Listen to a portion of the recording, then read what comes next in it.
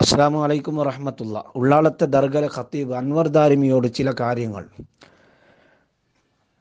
ഉള്ളാളത്തെ ദർഗ ഉറൂസ് സ്റ്റേജിൽ വെച്ച് ബഹുമാനപ്പെട്ട ഉള്ളാളത്തെ കാതി ഖുറാത്തങ്ങളെ വിഷയത്തിൽ അയാൾ ഉപയോഗിച്ച ഒരു പ്രയോഗം.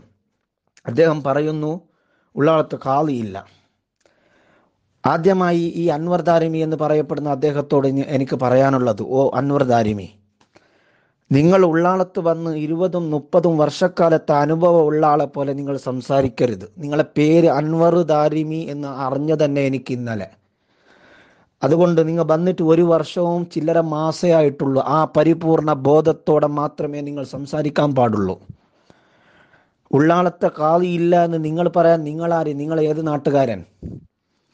ഒരു നാട്ടിൽ ഒരു നിയമി നിയമിക്കപ്പെട്ട് കഴിഞ്ഞാൽ പിന്നെ ആ ആ നാട്ടിലെ കാളി ഇല്ല എന്ന് ഏതെങ്കിലും പള്ളി കമ്മിറ്റി പറഞ്ഞാൽ ആ ഖാദി സ്ഥാനം നീങ്ങുമോ?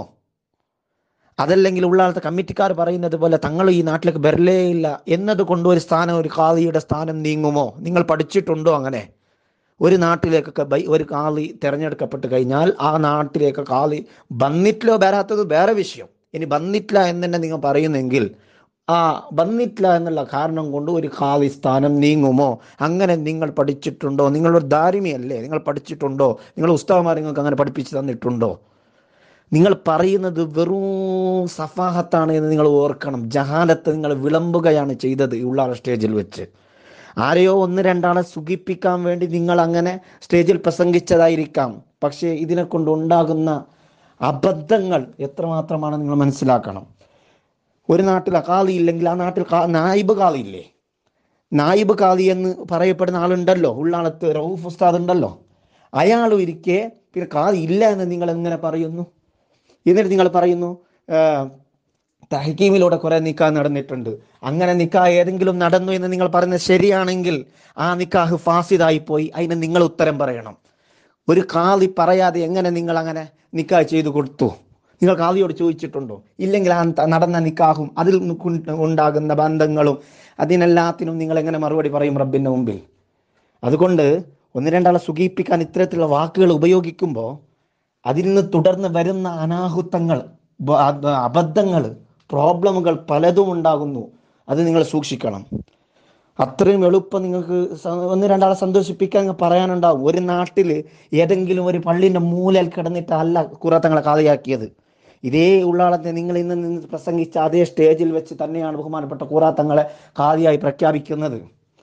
അത് നിങ്ങൾക്കറിയില്ല അന്ന് നിങ്ങൾ ഇല്ല മനസ്സിലായില്ലേ? ഏതോ ഒരു മൂലയിൽ നിങ്ങൾ ഉണ്ടായിരുന്നു എന്നാലും കാര്യങ്ങളുടെ വാസ്തവങ്ങൾ പഠിക്കാതെ ഇത്തരത്തിലുള്ള കാര്യങ്ങൾ വിളമ്പുമ്പോൾ എനിക്ക് ഇന്നലെ പേടിയായി പോയി നിങ്ങൾ അങ്ങനെ പ്രസംഗിക്കുമ്പോൾ സ്റ്റേജിൽ. ആരെങ്കിലും വന്നിട്ട് ഇപ്പം നിങ്ങൾ എന്തെങ്കിലും ആക്കുമോ എന്ന് തോന്നിപ്പോയി എനിക്ക് നിങ്ങളുടെ ഭാഗ്യത്തെ നിങ്ങൾക്ക് എന്തും സംഭവിച്ചിട്ടില്ല. അതുകൊണ്ട് സൂക്ഷിക്കണം ഇന്ന് ആ? അള്ളാഹുവിന്റെ മക്കളാണ് ഞങ്ങൾ ഞങ്ങളും ചൊല്ലിയ ആളെ സുഖിപ്പിക്കാനല്ലേ സന്തോഷിപ്പിക്കാനല്ലേ ഉള്ള ആളുകൾ ഹത്തീവായിട്ട് മുന്നോട്ട് പോകാൻ അങ്ങനത്തെ താല്പര്യം നിങ്ങൾക്ക് ഇങ്ങനെ മുന്നോ ഇങ്ങനത്തെ ഒരു വാക്ക് പറയാൻ നിങ്ങളെ പ്രേരിപ്പിച്ചത്?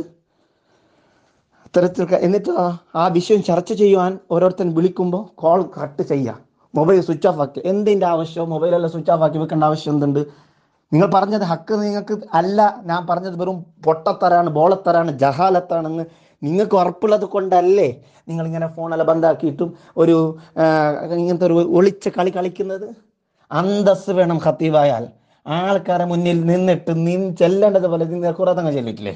ആരെയും പേടിക്കാതെ അങ്ങനെ ചെല്ലാൻ കഴിയണം. അല്ലാതെ ഇങ്ങനെ ഒളിഞ്ഞിട്ടല്ല കളിക്കേണ്ടത്. ചെല്ലണോ? ഞാൻ കൊടുത്തത് അത് തന്നെ തഹക്കീമിന്റെ വിഷയം ഞാൻ പറഞ്ഞിട്ടുണ്ട്. അത് ഇന്ന ആളാണ്. എന്ന് നിങ്ങൾ ആർക്ക് നിക്കാഹ് ചെയ്തു കൊടുത്തു? അയാളെ പേര് പറയാം നിങ്ങൾ. അത് പറയും നിങ്ങൾ. ഇല്ലെങ്കിൽ ആ നിക്കാഹ് അങ്ങനെ നടന്നിട്ടുണ്ട് ആ നിക്കാഹ് ഫാസിതായില്ലേ അതിന് നിങ്ങൾ ഇങ്ങനെ ഉത്തരം പറയൂ? ഇനി എന്ത് നിങ്ങൾ പരിഹാരം കൊടുക്കൂ? കാളി പറയാതെ തഹക്കീമിലൂടെ നിങ്ങൾ ഒരു നിക്കാഹ് നടത്തി നിങ്ങൾ ഇന്നലെ പറയുന്നു. കാളിയില്ല എന്ത് കാളിയില്ല നിങ്ങൾ നിങ്ങളുടെ തലയിൽ ഇതിനെ പറ്റിയുള്ള വിവരമില്ലാത്ത കൊണ്ടാണ് അങ്ങനെ പറയുന്നത് നിങ്ങൾ. ഇട്ട ഡ്രസ്സിനുള്ള ഒരു മാന്യത പാലിച്ചുകൊണ്ട് ധരിച്ച തലക്കെട്ടിന്റെ മഹത്വം കണക്കിലെടുത്തുകൊണ്ട് മാത്രമേ ഒരു ആലിം ആലിമിനെ പോലെ സംസാരിക്കണം. മനസ്സിലായില്ല? അല്ല